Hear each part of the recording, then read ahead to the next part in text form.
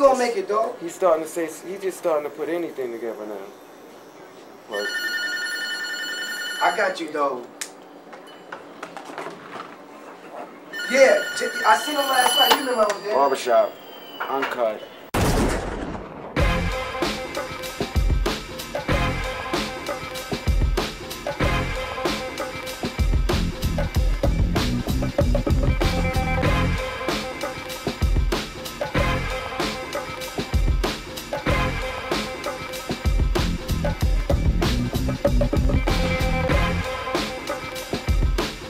A barber is an artist. It's an art form, man, when you get your hair done. The stories that come out of those barbershops are awesome. I used to see all kind of different things. If it could be sold, they was coming through the barbershop. Yeah, man. I had 12 of them, man. I'm down to the last three, man. He stole it from the supermarket and was trying to sell raw chopped meat and a bun. It wasn't fried meat, it was raw. It represents the hood, man. It's it's the playground. Kobe didn't have to go mess with Becky in Colorado. He could have messed with Shamika in the projects right here.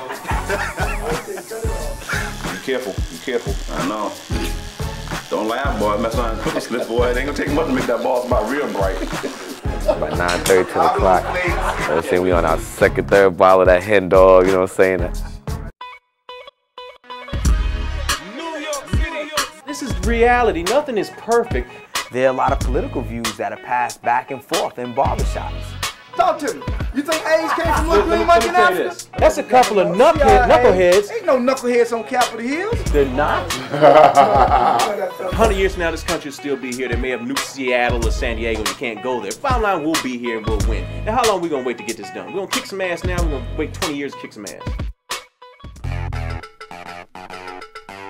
What's the deal? It's your boy Talent. I'm Isaac Hayes. What's up? I'm Darren DeWitt Henson. This is Kool DJ, the Red Alert. This is Michael K. Williams. You know, barbershops they really in the hood, but then it went Hollywood.